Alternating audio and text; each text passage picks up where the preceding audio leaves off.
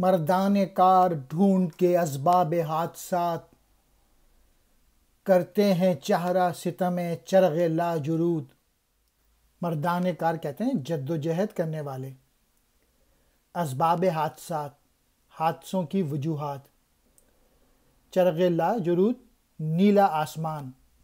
अब इस शेर में इकबाल ने बहादुर मर्दों को या जो या जिनके पास अकल होती है, जिनके पास समझ होती है, जो कि दलेर होते हैं, जब कौमें डूब जाती हैं तो वो क्या करते हैं? वो इसबाब ढूंढते हैं। नाकामी के इसबाब के कौम क्यों नहीं तरक्की कर रही? क्यों नई चीज़ें नहीं सीख पा रही है?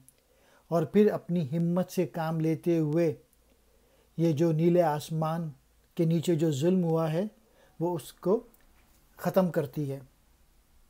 यानी जो बहादुर लोग होते हैं, वो अपने क़वत अमल से और नीले आसमान के जुल्म सितम का तदारुक कर लेते हैं।